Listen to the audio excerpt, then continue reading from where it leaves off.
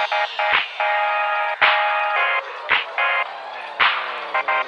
you.